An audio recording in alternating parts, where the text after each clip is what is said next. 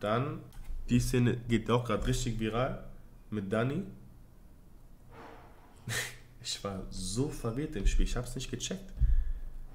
Weil die Sache ist ja, klar, wenn du den Ball jetzt zu Manu zurückspielst oder ins, ins Tor aus hinten, dann lassen sich Zeit. Deswegen liegt der Ball einfach drin zum Einwurf, dass die direkt spielen.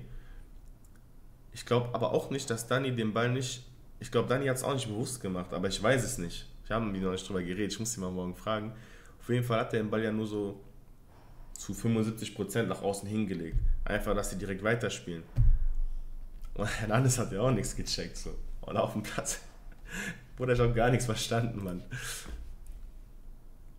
Weil ich glaube, so wie Dani jetzt auch wegläuft, in den Ball in die Hand, Schiri wählt direkt rum. Ich weiß nicht, ob der es extra gemacht hat, aber auf jeden Fall äh, wir haben auch den Freischuss, aber ist ja nichts draus geworden. Ja, Mann.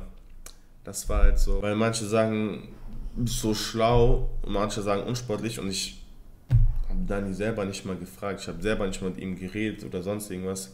Ich muss ihn mal fragen, kann dann nächstes Mal mal erzählen.